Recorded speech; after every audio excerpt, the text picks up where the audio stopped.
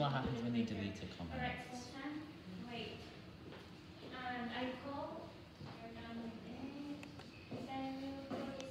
I'm gonna do it for you. Wait, Um, then can you give me a little time, please? No, wait. Mm-hmm.